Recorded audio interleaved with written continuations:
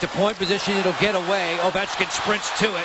Alex Ovechkin fighting through the wash, and it's an empty net goal for number eight. His 20th of the season.